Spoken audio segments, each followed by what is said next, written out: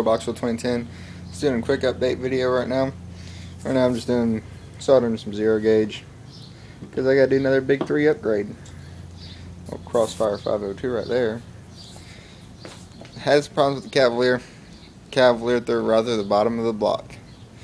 So and the truck's down. Motor blew in it too. Not having a good week.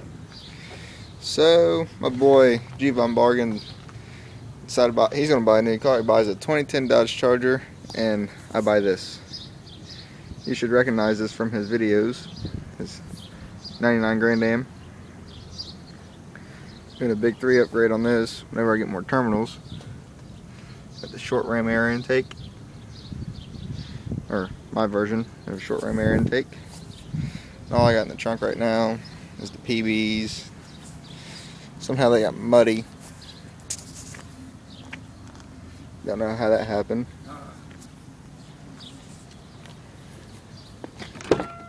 Still the same on the inside. Get the old Sony back in here.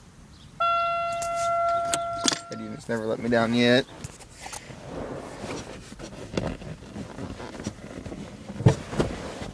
Got the good old JL in here still. I am thinking about buying his T115 or just buying me another 15. I'm not sure yet. Not sure how the power is in this car, really.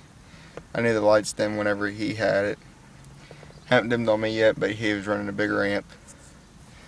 But we're going to see what this big 3 update upgrade does. Probably buy a capacitor. Going from there, got to drop some money in the Cavalier first, get it fixed, get it sold. Uh, I will have a picture of the Cavalier up on my video of where I had the hole in the block. It ain't pretty at all. But I may throw the MTXs in here.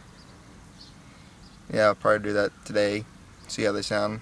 Can't do a bass video. Don't don't, don't get the camera still. But get at you guys later.